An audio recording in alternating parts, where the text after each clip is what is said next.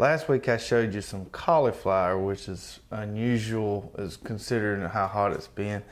And now this is some of that cow shot lettuce, which is that new variety we brought on. And um, if there was any questions about it being heat tolerant, it for sure is. Um, now I do got some that's starting to bolt a little bit, and you can see that's getting Yeah. getting there. But uh, and and I think the in the fall and cooler parts of the year, the heads would certainly get much bigger than this. But Well, you know, the product pictures we got looks a little different than that. It's got the red tip with the green leaf. yeah, and I don't know if the heat maybe expressed the red color more, I would say or so. uh, it was just a nutrient deal. But um, that is a romaine. Yeah. So it's a red romaine, and had our temperatures been normal, I think these would have uh, come off a lot better. But considering what we dealt with, I was able to salvage a decent little. Uh, Well, that's nice for this time of the year. Now, sometimes they'll get bitter in this hot weather. what you think? That's all right. Probably make a pretty good little BLT there. would. So not the most massive heads of lettuce I've ever grown, but uh, You know, I like romaines, and one thing I like about let me touch on this. One thing I like about romaines is it's up, it's upright growth, stays clean. stays cleaner, and you don't have to wash near as much dirt off of it. So I'm a big fan of the romaines. Well, we ain't had nary rain to splash any dirt up on No, it to start with. Um, but I've been babying this pretty good with the drip, and um, hey, you, take what you can get sometimes. Let's say hey to everybody. All right, Hello, everyone, and welcome to the Row by Row Garden Show. I'm Travis, and I'm Greg. and we've got a really good show planned for you tonight. So excited that you're joining us. We're going to talk sweet potatoes tonight because it's that time of year to plant sweet potatoes. And um, so we're going to go through, you know, varieties, planting strategies, even some fertilization um, methods Yep. for sweet potatoes. I read somewhere where somebody said that there's three things that loves this heat we've been having: Mm-hmm. okra, sweet potatoes, and weeds. Mm-hmm. You know, there's a lot of truth to that. Okra and sweet potatoes absolutely love this weather we've been having. Yeah, they do. They do. I'll show you something else that likes this weather we've been having. Um, So these are my zinnias here we've been harvesting. My wife's been harvesting these things and keeping the house nice now, and what? pretty. Which variety is this one? That's the lime. Well, that is. I hadn't grown that one. That's the one that you said you didn't like. I thought. No, no, no. The one I don't like is is is, is another one. I. So you do like that one? I do now. like you that. You change one. your mind. Yeah, I do like that. There's another one that that's, that's got more red in it that I don't that don't that fades too bad on me. Oh, okay. So this is the white. You can put them upside. You can kind of see. 'Cause some, mm-hmm. in some in some light, the white kind of looks a little bit green. But Yeah. So that's the white, and you get a few of them in the mix, but not a lot of them. Mm-hmm. And then the lime, you don't get that one in the mix. That is a um, That's a straight straight line, man. yeah. And um, so still plenty of time to get them zinnias in the ground. Uh, you just planted some more, didn't you? I did. I got sunflowers and zinnias coming on, man. I just planted me a big patch of them. My my giant hybrid sunflowers, and I think it may have had to do with the heat. I just couldn't keep enough water on them. They didn't get 14 foot tall like I'd hoped. Mm-mm, no, I had them beside my sun hemp. I Yeah. planted a cover crop. Uh, they can- they got about eight foot tall. Yeah. And they're blooming now, and I had a bunch of little bitty bees all over them this morning. Mm-hmm. Um, I need to give an update on corn. okay, I've been in the corn patch all afternoon. We've been uh, gathering corn. Now this here, what you wanted me to grow this year was this honey select. select, and that's what I'm What's about your- halfway through it. Now you eat a last week on the show. You eat a whole ear raw. Yeah, but now we I, had some folks complaining about that. oh really? Yeah, they was upset. Said Well, we got- crunching on that corn. And I'm Uh, and I'm gonna I'm gonna straighten a little bit of that out today. And I'm gonna tell you, I don't like this honey select. really? And I know you don't want to hear that, but it's the fact I'm not gonna grow it no more. It was your idea for me to grow it this time, and I grew it, but I, I will not be growing the honey select again. It's not my type of corn. It's too sweet. Too sweet. Now this right here, what she's doing, she's cutting this off. Miss Hoss did that. She's cutting this off. Now she she boiled the, the cob, and then she cuts it off, and she puts a little butter in there, and then it's just like this right here. And I'm gonna tell you, that's not like corn I'm used to eating. If I wanted to eat sugar, I'd go buy me a bowl of candy. Yeah. They don't have that flavor like corn's got. It's just too sweet. I know some people like it. I got a neighbor down the street named Eddie. Eddie comes up here every day. I'm gonna get me three ears of corn. I look at him, he's got an arm load. And he says it's the best corn he's ever eaten. But I don't think Eddie's understanding what corn's supposed to taste like. Yeah. Now I I will um, if you don't mind there, let me try a little bite of that. Pretty good. It's too sweet. Um, It, it I borrowed some and- and cooked it on the cob. I mean, I thought it was some of the best corn I've ever well, had. I've heard several people say that, but the fact of the matter is, y'all don't know what corn's supposed to taste like. If Well- you grew up like I did, eating uh, Silver Queen, You got some on your lip and right you now. had plenty of it coming up yourself, you ought to know what it tastes like, or field corn, then you know corn has got that starchy flavor to it, and it's not real, real sweet. Now this here is way too sweet. If if you want to, if you've been growing those silver queens and have those tastes like I got, where you like that corn flavor, and you wanted to kick it up just a notch, you need to grow their ambrosia. or the incredible. Or the incredible, they're a little bit sweeter than the silver queens. If you wanted to change up a little bit, I love the silver queen. But this right here, this triple sweet stuff, you can have. I'm not going to grow no more of it. See, I, I'm a big fan. I'm actually gonna grow some in the fall. Probably towards late August, I'm gonna plant me some. I really like it. Well, But, a lot uh, of people do, but y'all don't know what corn's supposed to taste like. Well, and that's that's a good. uh, That's a um, Here's the problem. They have bred these corns and things like that for this newer generation because everybody wants everything sweet.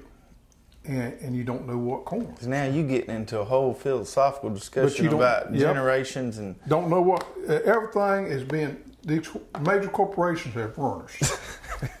we don't know what corn's supposed to taste like. You take field corn. There's very few people out there anymore to eat field corn. I love roasting ears, but they don't taste like candy like this right here. It tastes like corn. yeah. Anyway, I'm gonna up and up, but I ain't growing no more of this. I do not like it. It doesn't seem like you have too big a problem I like it. Let's move on. Okay. Um, my incredible corn is getting pretty close, and uh, I ain't gonna have a bumper crop, but um, decent crop, and we'll have to try some of that on the show. That's probably more towards um, your avenue on what you like there. Mm-hmm. I got my peppers. Of all the things in my dream garden that didn't haven't turned out so well, boy, my peppers are looking fine. They so green, they almost black. They looking good, and they starting to put on. Well, that's good. I like a good roasted. It almost got me thinking that my soil is pro- probably too acidic, where those pine trees were. Peppers like acidic soils, uh, from what I understand. Really? Um,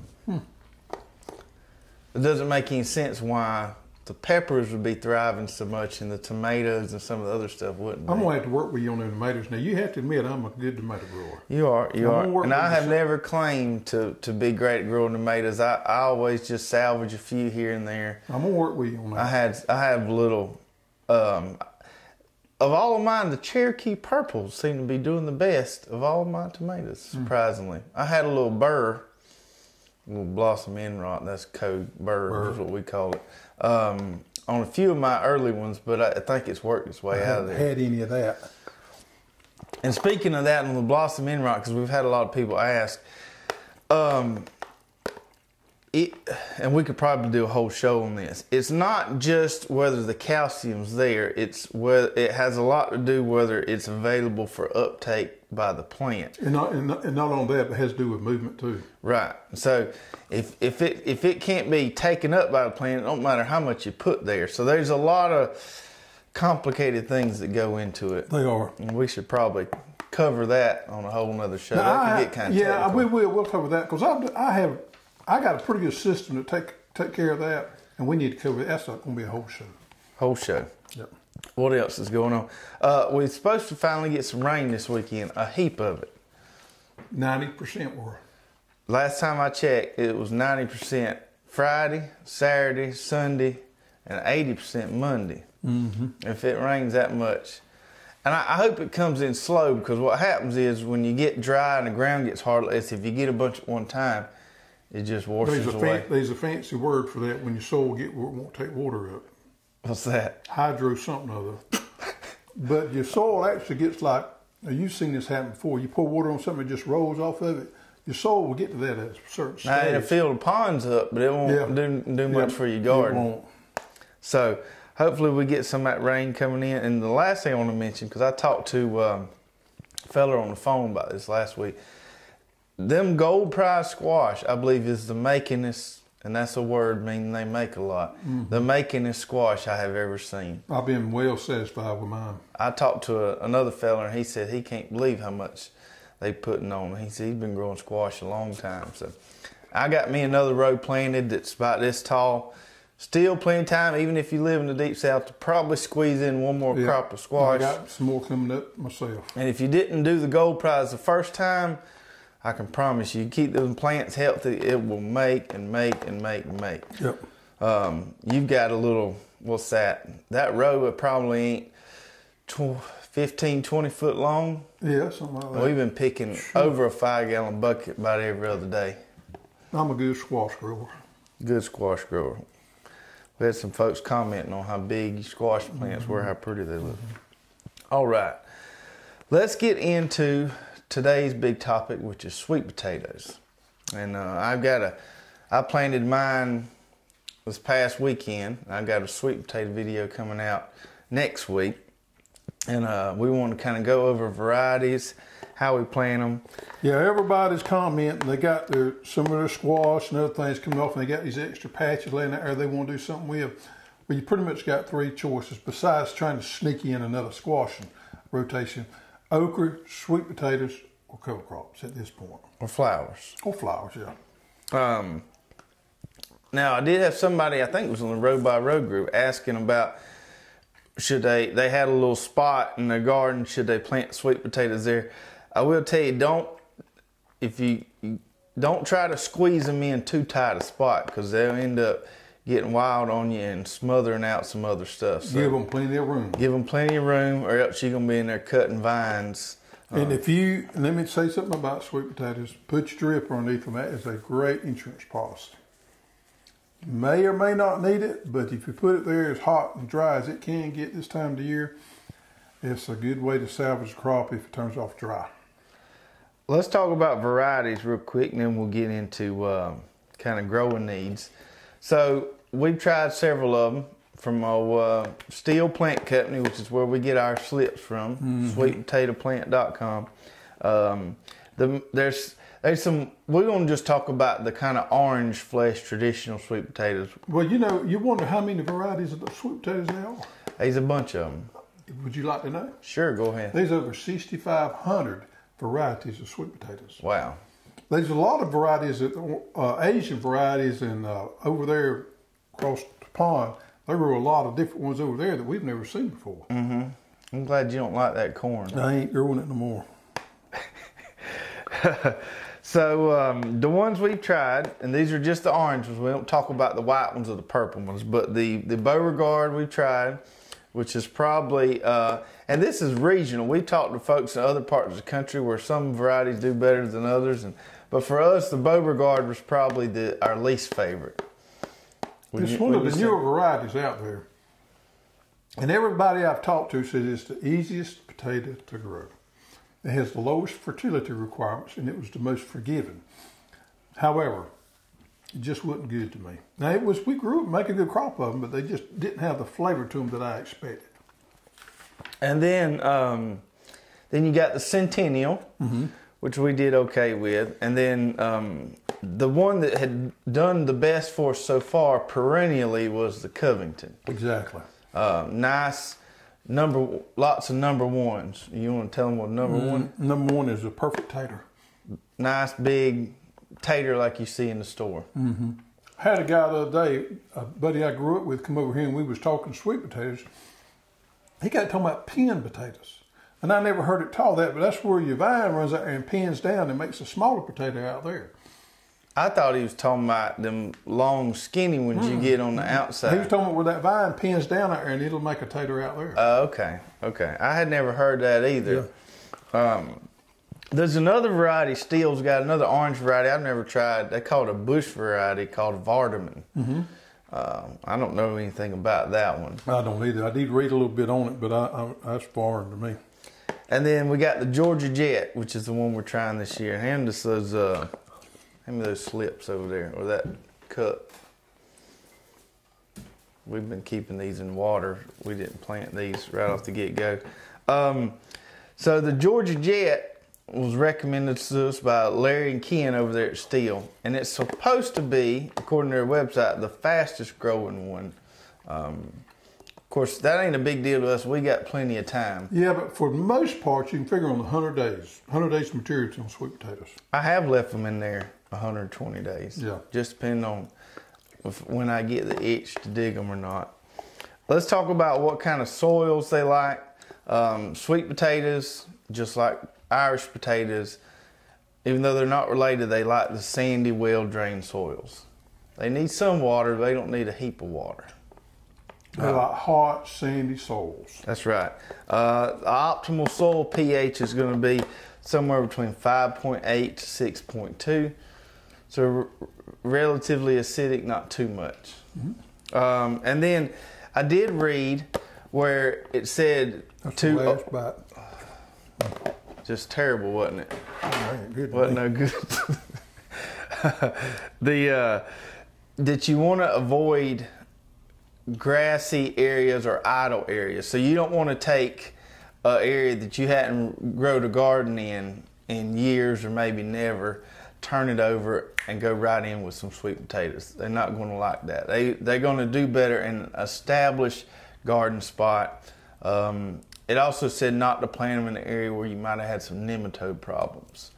So you want to keep them rotated with your okra and your other stuff that you might encounter some nematode issues. Okra is notorious for nematodes. That's right. That's right. We can knock that out with some of them cover crops. So um, plant these in your established garden. Don't make a new garden for sweet potatoes because they probably ain't going to do as well. You know, the fertility requirements really shocked me on this. I thought I knew how to grow sweet potatoes. I did not understand the exact nutri- recommended nutrient requirements for these. Yeah, and we're about to talk about that. These are uh, these are slips, and a lot of people grow their own slips. I don't ever have any sweet potatoes left over to make slips from. We put these in water. These are looking pretty, and uh, I've got a few that didn't make it. I'm probably gonna go in and replace with these guys here. Fertility on sweet potatoes. Yeah, th- now this is a whole different ball game than most things we grow. It is. So let's talk about. Um, I made a few cards if you don't mind. Ooh, car. I love cards. Okay, so here's our fertility requirements, and I broke it down as always to pounds per thousand square feet. So we got nitrogen, we got phosphorus, and we got potassium. We got the same amount for nitrogen and phosphorus, and then we need a lot more potassium on sweet potatoes than we do the other two. So only 1.4 pounds of nitrogen per thousand square feet, which is not very much at all. No, and if you just got 100 square feet, and I don't grow a lot of sweet potatoes because I normally can take a small area and produce a lot. If you're growing 100 square feet, just simply move out over one, and it'd be 0.14. That's right. That's right. So, and when you think about something like sweet corn, which needs around five and a half pounds per thousand square foot, this doesn't need much nitrogen at all. And that's why when I, you see my video, where I'll talk about how uh, just that chicken manure compost is, is probably all the nitrogen you need. I, I doubt I'll supplement it with much. That's exactly the, the what I would do. Um, and then you got a little bit of phosphorus you need there. And then the potassium is the big kicker there. Mm-hmm. And we're going to have a lot of people asking, so how do we get just potassium without these other things? You got any recommendations? Well, sure I do. There's such thing called sulfate of potash that you can buy that's mm-hmm. straight potassium. There's also muriate of potash that you can buy that is straight potassium. And let's just say that you're more of a naturalist or organic type person. You can put wood ashes. Wood ashes is a good form of potash. So if you got some wood ashes left over from your big grill or whatever like that, you could put them out there in your garden. That's a great source. It has to be hardwood because you can't use any softwood such as pine or that. But all your charcoals are made out of hardwood. So char- uh, charcoal ash is a perfect source for potassium. Okay. I think about that. Huh. So we need a lot more potassium than we do nitrogen and phosphorus. We need about four times as much. That's right. And I can tell you from experience, if you do put too much nitrogen on there, you ain't gonna make many taters. You're gonna make vine. You're gonna make vine, and you're gonna be excited, and you're gonna get out there and think, "Ooh, I got a bumper crop," Mm, and you and you're just gonna pull up vine and pull up vine Yep. and not dig any taters. So, don't be easy on that nitrogen because you can easily put. Now, if you're not if you're not going to use chicken litter or good compost, you, you're not don't have you're not privy to that, and you have to use a synthetic.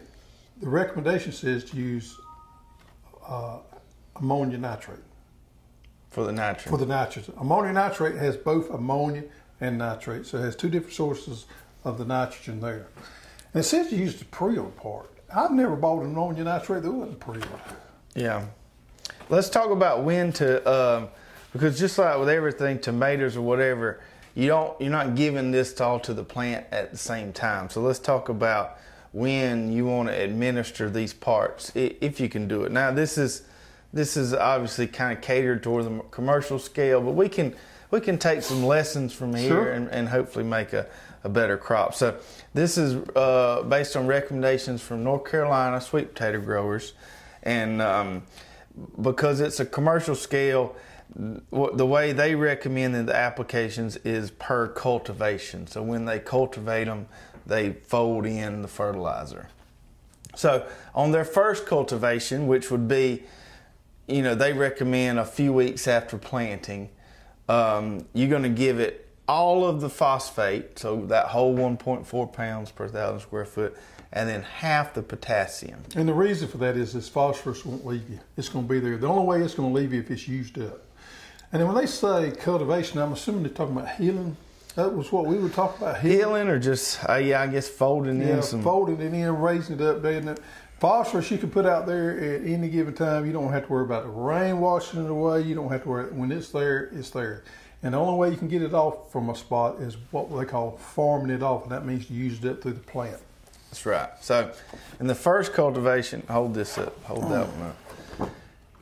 The first fertilization or cultivation, we're going to do half of this 4.5 and we're going to do all of this 1.4 phosphorus. And this is ideal situation. Um, and then the second cultivation, so Straight potassium. we're going to do the other half of our potassium. So the other little over two pounds. Potassium is soluble and moves in the soil somewhat, but not near as much as what nitrogen does. Right. And then we're going to hold off on the nitrogen uh, based on these recommendations. You should hold off and do your nitrogen side dress last and do all your nitrogen at one time there. So um, I understand this might not be ideal with, you know, not a lot of people are going to be able to find a zero, zero, whatever fertilizer Oh out yeah, there. yeah. You can find this. It's available out there. You may have to order it, but it is available. Okay. Yeah, yeah. You can buy those. Those sulfates and muriates of potash. But um, Farm, if if you got a farm, I'm not thinking tractor supply, but if you actually got a farm supply place close by, if they don't have it, I'm sure they can get it for you. Okay. So phosphorus, potassium, potassium, and then nitrogen is the ideal fertilization cycle. So let's just go back for a minute and talk about if we was going, if you do have access to some good compost or some good chicken litter, you would apply that pre-plant, mm-hmm. and then you would come back and hit it with your phosphorus, some additional phosphorus and some additional potassium. I'm not sure I would hit it again at the end with nitrogen. Right. Because let's just take chicken litter for instance. It's normally about a three three three, so it's pretty much even across there. You're definitely going to need to hit it with some more potassium. But that nitrogen, that chicken litter, is going to last. It's going to spike, and it's going to come back down. And it's going to spike there again with the release of it. So if you're using that, you're going to have to move the system around just a little bit. Still going to have to add some potassium there because we see right here how well potatoes love potassium. Yeah. I, I think I'll just take my um, charcoal dumpings from the grill and uh, Yep. Work. that out there, and we should be good to go. Uh, the other thing that they do mention about sweet potatoes is that they need those micronutrients. And um, Boron in particular. boron in particular. And do you know any good way we can give them those? Uh, believe I do. So you give them some of this right here, some of this wonderful micro boost. That ought to do them just right because it's got your boron in it. It's got all your other good micronutrients. So micronutrients are important to sweet potatoes, just like they are many other crops out there. So If you wanted to go organic on all this right here, we have a fish emulsion that would work too to get a lot of your nutrients to it. If you're concerned about using synthetic fertilizer, so there are other options out there. But the micro boost, you got to use that. That's right.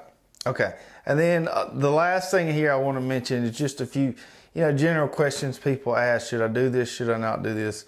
Uh, as far as growing sweet potatoes on drip, I don't put mine on drip. You do.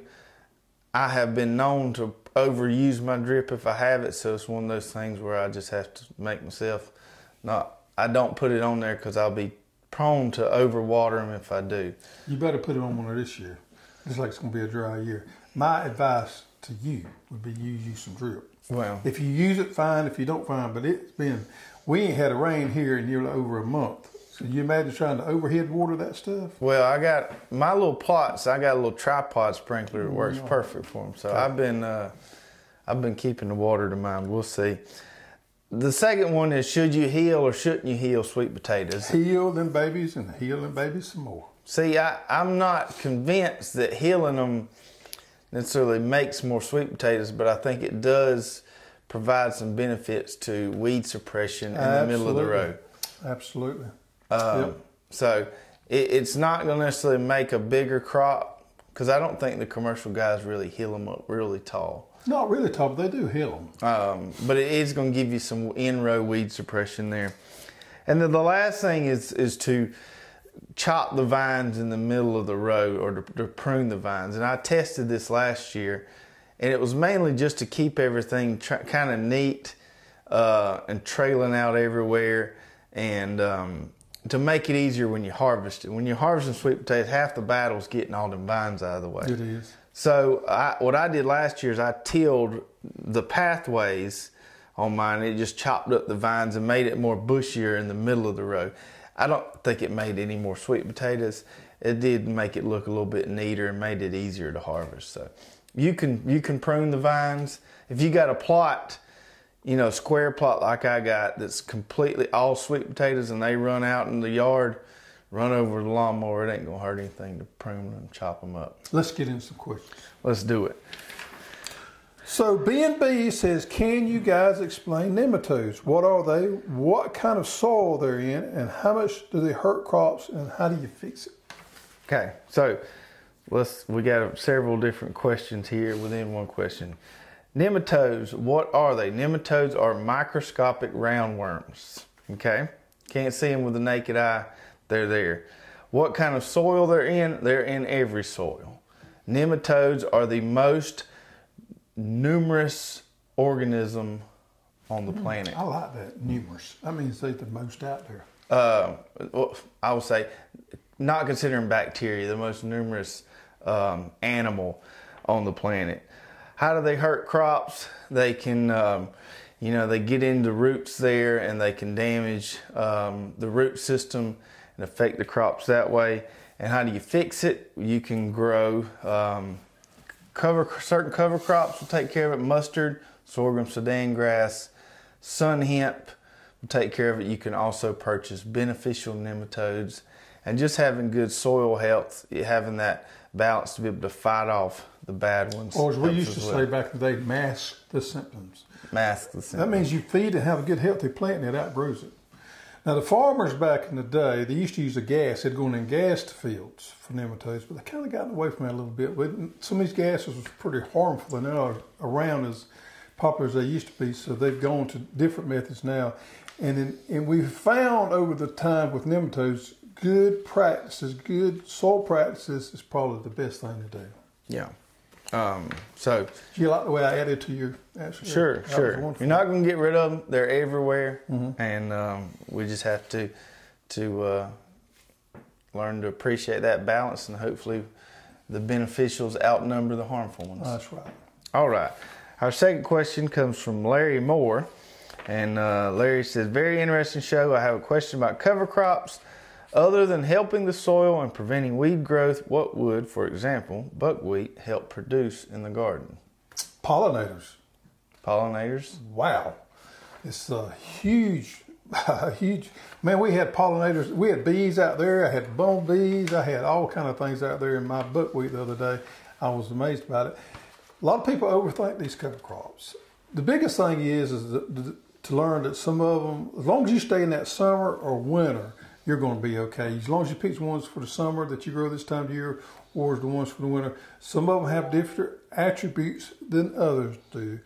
Just go through there, pick out what you like, and go with it. I mean, we have one that's a legume, that's a nitrogen fixer that you can grow in the summertime. The buckwheat is absolutely wonderful for pollinators. Grass- Buckwheat also scavenges phosphorus. it does scavenge phosphorus. Sudan grass is not very good for pollinators, but it's great for biomass. Mm-hmm. So all- they all have their different benefits. And, and since we did that show last week, we had a lot of people calling or sending us emails asking which one should they plant. And this is the way I like to look at it, keep it simple. Think about how big a window you got, okay? If you're working with a smaller window like we are, where we're just looking for something between spring and we're going to go back to cash crops in fall, go with your buckwheat or your sun hemp, something quick. If you if you're not going to plant that garden area for another six months or maybe till next spring, if you just do a spring garden and you're done, plant you something more long term like you um, sorghum sudan or you millet. You can go in there and mow it, come whatever. right. Because if, if you're not going to use that area for six months, so you plant buckwheat, a month from now you got to figure out something else to do. Yeah. So uh, Short window stuff, long windows, that's the way to think about it. All right. So, uh, if we answered your questions on the show, uh, send us an email to custserve.com and we'll get you a nice little prize. And if you have any more questions about sweet potatoes or anything else we talked about on the show, put those in the comments and we will get to them next week. Hit that share button, hit that subscribe button, and we will see you guys next week. I got to go get me another bowl of corn. It's terrible stuff, ain't it? See ya.